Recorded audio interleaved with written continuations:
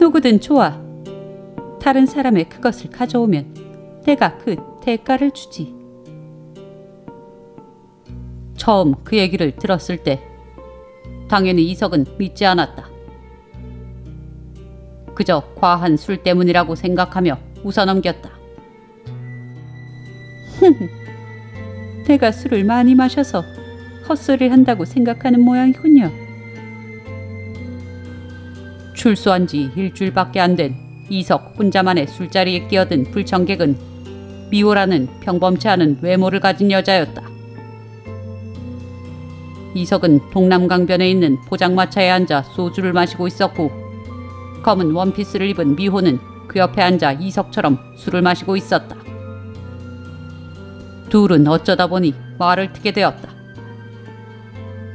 술 기운을 빌어 친해진 둘은 포장마차를 나와 다른 술집에 가게 되었는데 그곳은 미호의 단골바였다. 바에서 독한 위스키를 마시니 미호가 본색을 드러냈다. 미호 씨는 독심술도 하나 보네. 내 마음을 다 알고. 이석이 웃어 넘기려 했지만 미호는 끈질겼다. 그래요. 누구나 그런 반응이죠. 내가 체주를 보여주기 전까지는 제주? 이석은 피식 웃었다. 자, 아무 곳이나 말해봐요. 지금 이석 당신이 가고 싶은 곳. 나요? 흠. 감옥에 있느라 통 바다를 못 봤는데 바다에 가고 싶은데요?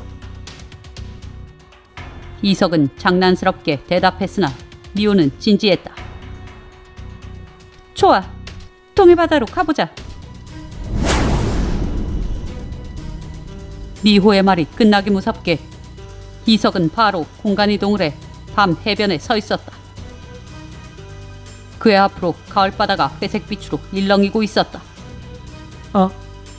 이게 어떻게 된 거지? 이석은 당황했고 미호는 자신만만했다. 그럼 또 어디? 가고 싶은 데가 있나요? 평생 가보고 싶었던 곳이 있어요. 라스베가스. 어렵지 않지.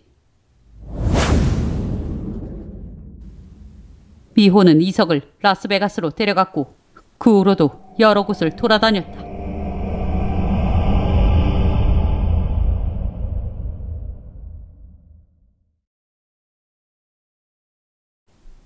다시 단골바로 돌아온 미호는 이석에게 제안했다. 어떤가? 이제 내 능력을 봤으니 날 믿겠지. 상대는 누구라도 좋아. 누군가의 생명을 가져오면 내가 소원 하나를 들어주지. 아무나 죽여도 된다고? 이석은 멍한 표정이 되어 미호를 바라보다 천천히 고개를 끄덕였다. 난 어려서부터 늘 못생긴 외모 때문에 고통을 많이 받았는데 다른 사람을 죽이면 내 외모도 바꿔줄 수 있나? 당연하지. 이런 모습은 어때? 미호는 이석 앞에 그가 일을 처리하면 얻을 수 있는 외모를 보여주었다. 아, 마음에 들어. 키도 지금보다 10cm나 크고 꽃미남 얼굴. 미호에게 빠져든 이석은 벌써 누군가를 죽일 궁리를 하고 있었다.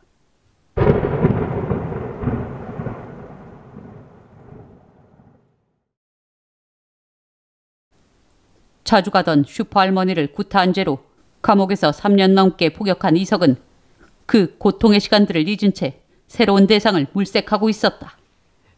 빨리 일을 해치우고 싶은데? 하, 얼른 멋진 얼굴을 갖고 싶다. 그는 감옥에 가기 전 살던 동네를 어슬렁거리다 슈퍼 주인이 바뀐 것을 알게 되었다. 흠, 그 할머니 나한테 두드려 맞고 은퇴하셨나? 감옥에 있는 동안 밖에 나가면 평범하게 살아보겠다고 결심했던 이석은 이제 그 어디에도 없었다. 이번에는 바보같이 우발적으로 일을 벌이지 말자고. 침착하고 정확하게. 외모가 좋아지면 뭐하냐고. 경찰에 잡히면 감옥살인데. 그는 다시 그 슈퍼를 노렸다. 바뀐 슈퍼 주인은 40대 중반의 여자였는데 우연찮게 이석이 아는 사람이었다. 어? 저 아주머니? 내 자취방 주인 아주머니였던 사람이잖아. 참내 별일이네. 월세 안 낸다고 사람 취급 안 하더니 여기서 만나네. 그래, 조금 미안하지만 저 여자가 적당하겠어. 이상하게 난 슈퍼 사람들이 싫어. 희석은 어려서부터 친척집을 전전하며 슈퍼에서 물건 훔치기를 밥 먹듯이 해 슈퍼 주인에게 맞은 기억이 많았다. 그래서 그런지 그는 슈퍼를 운영하는 사람에게 반감이 있었다. 게다가 지금 그의 앞에 보이는 사람은 이석을 이미 구박한 적이 있는 사람이었다. 이석은 완전 범죄를 위해 슈퍼 주인이 가게를 닫고 집으로 가는 동선을 따라가 봤다. 이석이 살던 그 집 그대로였다.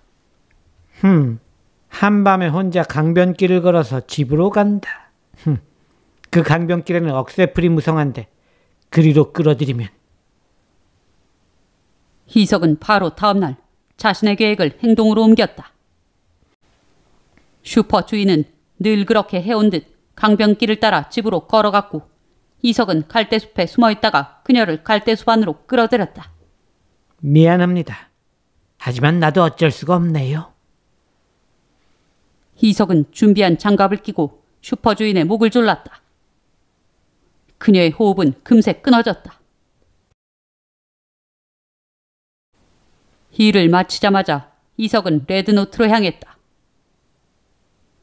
미호가 바 테이블에 앉아 있었고 이석이 나타나자 박수를 치며 그를 격려했다. 브라보, 좋았어. 해냈군요. 그래요. 난 당신이 해낼 줄 알았어요. 칭찬만 하지 말고 약속한 거나 지키시지.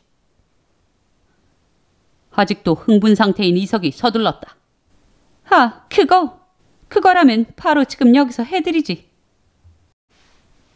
미호는 이석을 눈 감게 하고 숫자를 세라고 했다.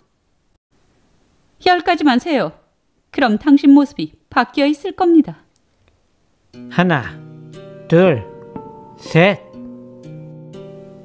이석은 숫자를 셌고 눈을 떴다. 이제 화장실에 가서 거울을 봐요. 이석은 바 화장실로 가 거울을 봤다. 이럴 수가. 나 이렇게 잘생겨지다니. 너무 멋있다. 눈물이 날 지경이었다. 이석은 세상 모든 것을 얻은 듯 기뻤다.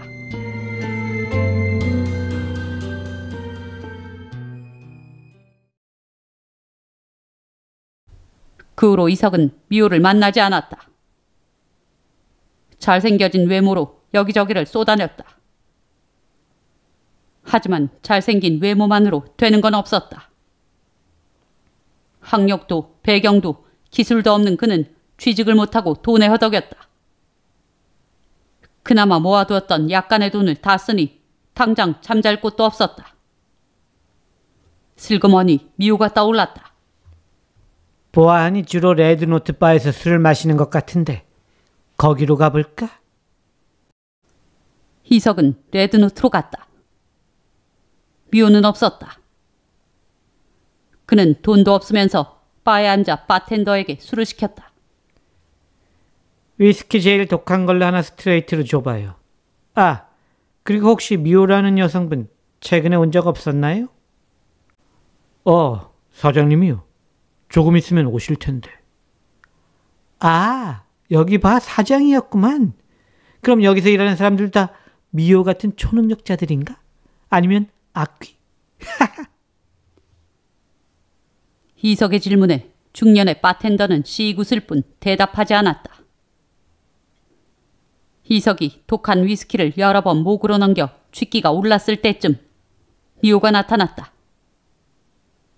여전히 검은 치마에 검은 블라우스를 걸친 평범치 않은 차림이었다.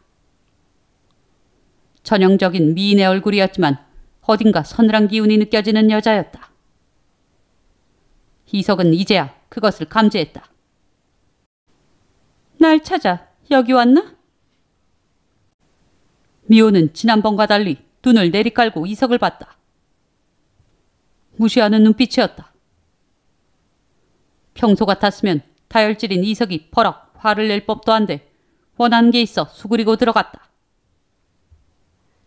아니, 이거 뭐 얼굴만 잘생겨진다고 세상이 바뀌는 것도 없고 돈이 좀 필요한데 호, 그래? 미호는 기쁘다는 듯 붉은 입술을 옆으로 크게 벌려 미소를 지었다. 그럼 사람 하나 죽여야지. 참네 사람 죽이는 게 장난도 아니고 철실하지 않은가 보군. 미호는 이석의 눈을 뚫어지게 바라봤다. 절실하긴 한데 나도 궁금한 게 있다고 뭔데? 내가 사람을 죽여서 당신이 얻는 게 뭐야 뭔가 얻는 게 있으니까 내가 원하는 걸 주는 거 아니야? 얻는 거라.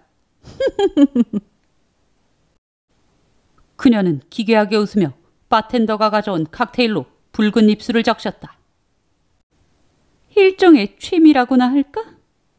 넌 몰랐겠지만 네가 사람 죽이던 그 칼대숲에 나도 있었거든. 아주 즐거운 광경이었어. 이석은 자신이 사람을 죽였다고만 했지 구체적인 장소는 알리지 않았었다. 어쩐지 확인도 안 하고 내 얼굴을 바꿔주더라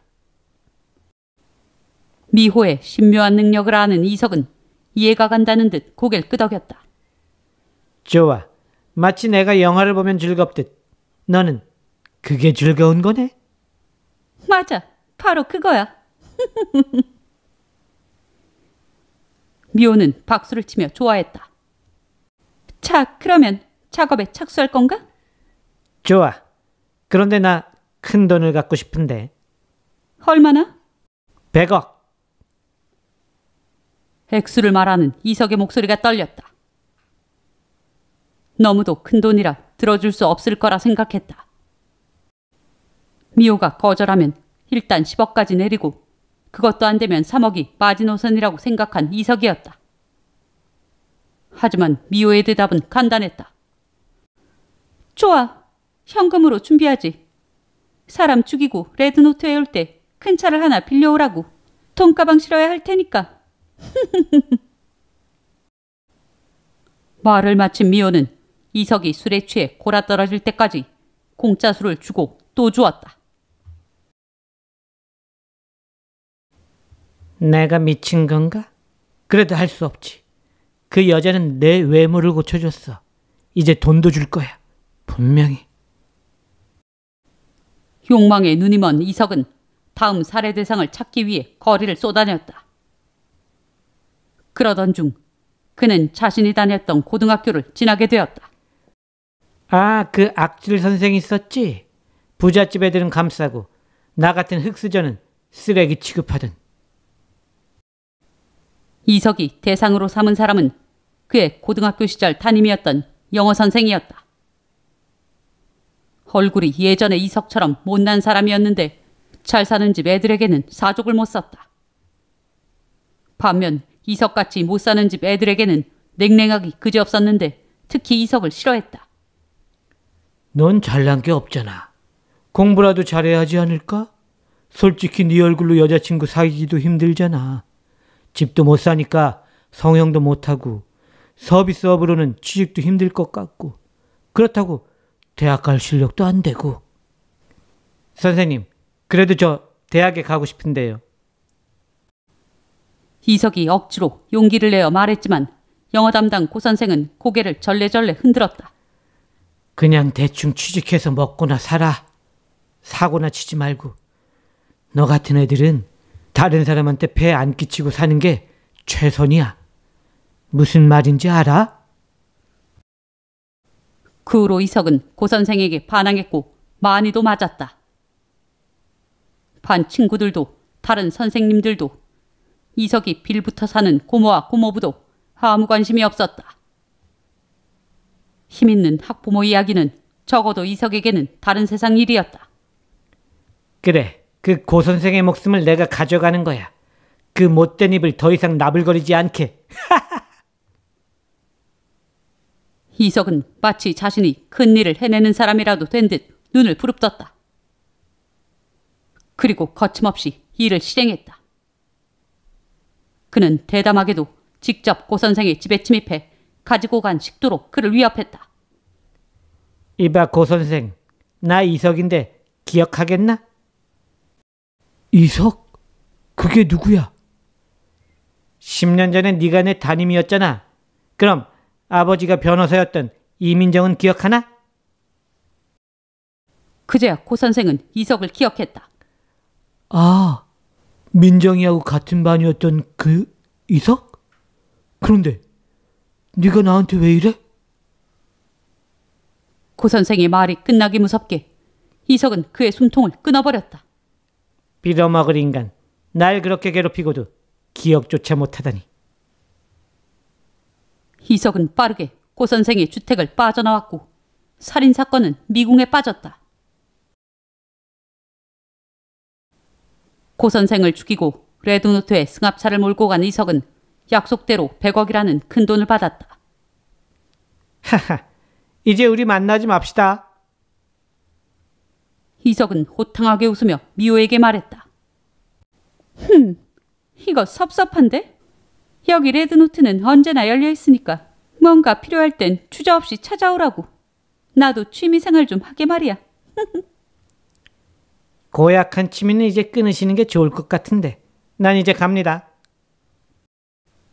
이석의 목소리가 한껏 건방져졌지만 미호는 개의치 않는 듯 술을 꺼냈다.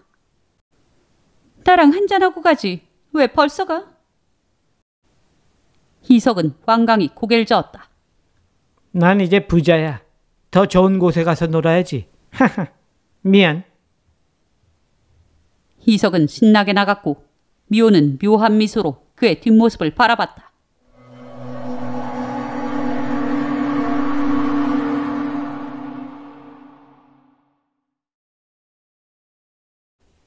잘생겨진 외모에 돈까지 많아지니 이석 주변에는 자연스럽게 여자들이 꼬였다. 흠, 다 내 돈 때문에 날 좋아하는 거지. 제대로 된 여자가 없어. 그러던 중 그는 길에서 우연히 초아라는 여자를 만났다. 20대 후반의 수수한 여자였는데 시골에서 왔는지 길을 잃고 헤매고 있었다. 이석은 안타까운 마음에 그녀를 도와주었고 그게 연이 되어 그들은 자주 만나게 되었다. 이석은 그녀를 시험해 보기 위해 자신이 가난한 사람인 척 싸구려 식당과 싸구려 술집에서 데이트를 했다. 다른 여자들과 달리 초아는 전혀 불만을 갖지 않았다. 돈 좀 없으면 어때요? 우리 아직 젊잖아요. 앞으로 벌면 되죠. 열심히 살면 분명히 좋은 날이 올 거예요. 초아가 우리라고 표현해준 그날, 이석은 그녀와의 결혼을 결심했다. 미안, 좋아. 너를 속였어. 하도 돈만 밝히는 여자들이 많아서 나 실은 부자야. 미호에게 100억을 받은 이석은 그동안 돈을 잘 굴려 200억 넘는 자산을 보유하고 있었다. 아, 그렇군요. 부자면 좋긴 한데 나 같은 사람이 석유 오빠랑 어울릴까요? 무슨 소리? 넌 충분히 나와 이 부를 누릴 자격이 있어. 이석은 초아를 볼 때마다 평화가 찾아오는 것 같았다. 자신이 저지른 두 번의 살인의 기억은 잊은 듯했다.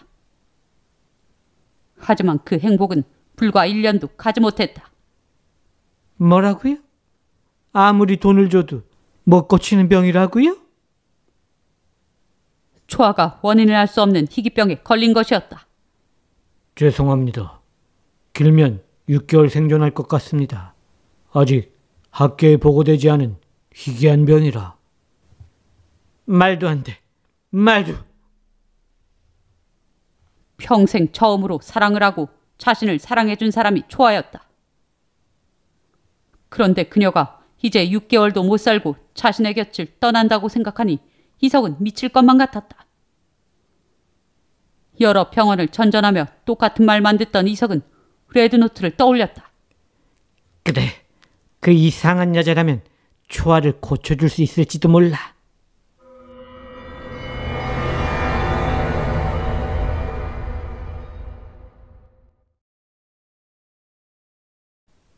이석은 초아를 병원에 입원시킨 채 레드노트로 향했다.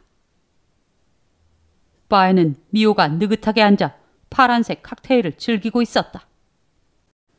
어머, 이게 얼마만이야? 한 3년 됐나? 아니, 2년인가?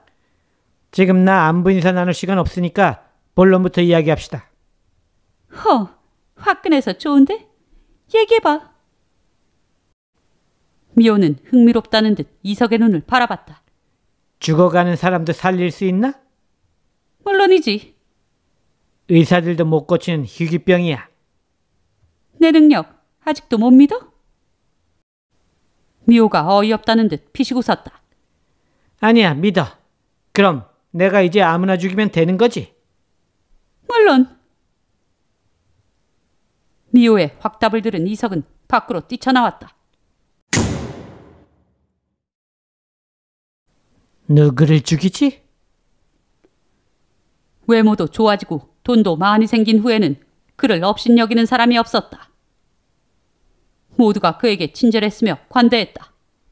흠, 역시 예전에 나를 힘들게 했던 인간들 중에 골라야겠네. 그는 고등학교를 중퇴하고 처음으로 취직했던 중화요리점을 떠올렸다. 그래, 거기서 일할 때 진상 손님이 하나 있었지. 아직도 그 아파트에 살고 있어야 할 텐데.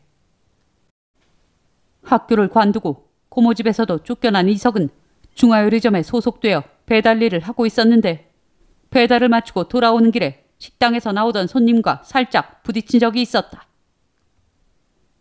나름 단골이었던 그 여자는 배달도 자주 시켜 먹고 매장에도 자주 오는 손님이었다. 그런데 그날따라 하필 매장에서 고량주를 먹고 나오다 이석의 오토바이와 맞닥뜨린 것이다. 엄밀히 말하면 거의 멈춘 이석의 오토바이에 그 여자가 와서 부딪힌 격이었다. 하지만 그 책임은 고스란히 이석이 졌다. 얼른 손님한테 사과해. 사장님조차 그 단골 손님 편이었다. 이석은 너무나 억울해 눈물까지 흘리며 무릎을 꿇었다. 그 여자는 이석을 내려다보며 이런 말을 했었다. 너 하프를 차례. 아이고 그 얼굴에 눈물까지 흘리니 가관이네. 그리고 내가 진단서 떼올 테니까 다른 데로 도망가지 말고 알았어? 아직 어렸던 이석은 그저 고개를 끄덕일 뿐이었다. 그래, 그 여자라면 내 제물로 삼아도 될 만한 쓰레기야. 이석은 기억을 더듬어 그 여자가 살던 아파트로 향했다. 그리고 복도에 숨어 있다가 집에서 나오는 여자를 아래층으로 내려가는 복도로 끌고 가 숨통을 조였다. 여자가 쓰러진 걸 확인한 그는 CCTV를 피해 범행을 한 6층 복도에서 아래로 내려왔고 현관에서는 복면까지 쓰는 치밀함을 보였다. 현관에 있는 CCTV를 피하기 위함이었다. 한밤중이라 사람도 거의 없어 그의 범행은 성공한 듯 보였다. 하지만 그가 예상치도 못한 변수가 현관을 나서 아파트 정문으로 향할 때 나타났다. 밤늦게 산책을 나왔던 대형견이 그에게 달려든 것이었다. 어? 그는 어이없이 개물림 사고를 당해 범행이 탄로나고 말았다.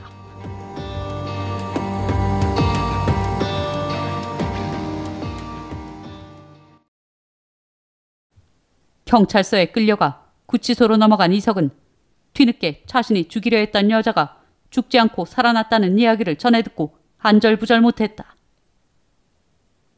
그 단골 손님을 죽이지 못했으니 미호가 그의 청을 들어주지 않을 게 뻔했다. 지금 병원에서 간호해 줄 사람도 없을 텐데 이제 우리 초아는 어떻게 하지? 갇힌 몸이라 그가 할 수 있는 건 없었다.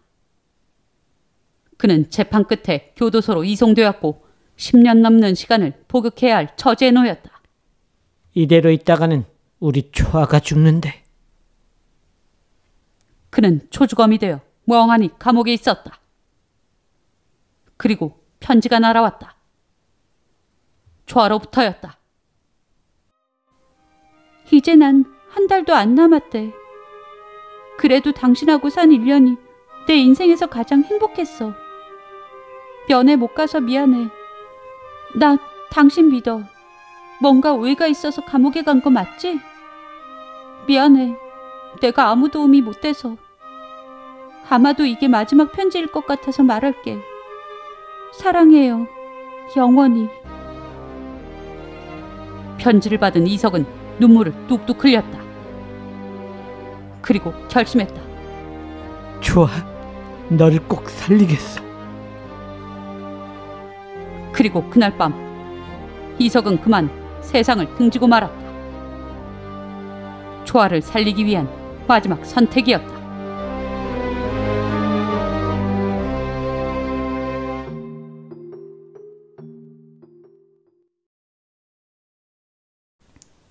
레드노트 바에 초아가 앉아 있었다. 건강해 보였고 행복해 보였다. 그녀를 마주한 맞은편의 바텐더가 너털 웃음을 지었다. 하하. 사장님 젊어지셨네요. 그래? 그런데 영, 내 맘에 드는 외모는 아니야. 말을 마친 초아의 얼굴이 갑자기 미호로 바뀌었다. 그런데 사장님, 그 이석이란 사람 말입니다. 좀 안 됐기도 했어요. 사장님이 초아로 변한 줄도 모르고 처음이자 마지막 사랑인 줄 알았으니. 우리 바텐더가 많이 착해졌네. 설마 날 비난하고 싶은 건가? 어차피 그 녀석은 복수심을 다 풀어냈어. 더는 죽일 사람이 없었다고. 재미없는 녀석이 돼버린 거지. 배에 기름도 찾고. 그러니 그렇게라도 움직이게 하는 수밖에. 이래도 그 녀석이 안타까운가? 미호가 눈을 부릅뜨자 갑자기 바텐더는 정자세를 취하고 고개를 숙였다. 아닙니다, 사장님. 실례했습니다. 용서하십시오. 그래, 그건 그렇고 이제 내 장난감이 최사랑 초아를 살린다고 저 세상으로 가셨으니 새로운 장난감을 구해야겠는데 누가 없을까? 아, 얼마 전에 웬 여자가 왔는데 저한테 세상 한탄만 하고 갔습니다. 살기 싫다고요. 어, 저기 오는데 사장님? 미호는 고개를 돌려 레드노트 바에 들어오는 20대 중반의 불만에 가득 찬 여자를 뚫어지게 쳐다봤다. 그래, 좋아. 이번에도 신나게 놀아볼까? 어느새 미호의 얼굴에 사악한 미소가 흘러넘쳤다.